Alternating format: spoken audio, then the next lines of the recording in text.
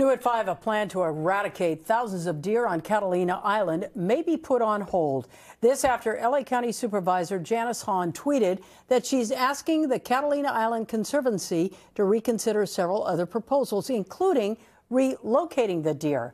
Last year, the Conservancy wanted to kill the deer in an effort to protect the island's native plants and species.